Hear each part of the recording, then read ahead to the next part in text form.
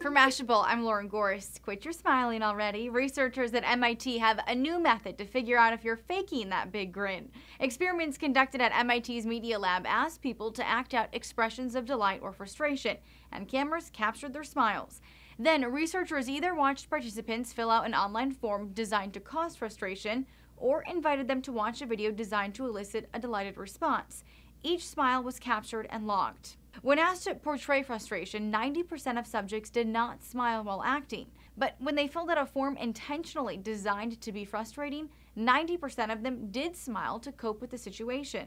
Timing played a major role while categorizing smiles. The research concluded often smiles of delight built up gradually, while frustrated smiles appeared quickly but faded just as fast. Not only have researchers formulated our types of smiles, but they've turned that data into a computer algorithm which can detect a frustrated smile 90% of the time.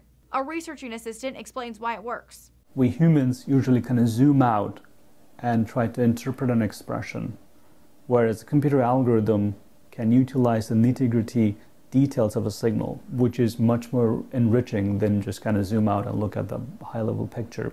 Future research could pave the way for better assessments of emotional state. MIT also hopes the data will help those with disabilities like autism accurately gauge expressions. For Mashable, I'm Lauren Goris.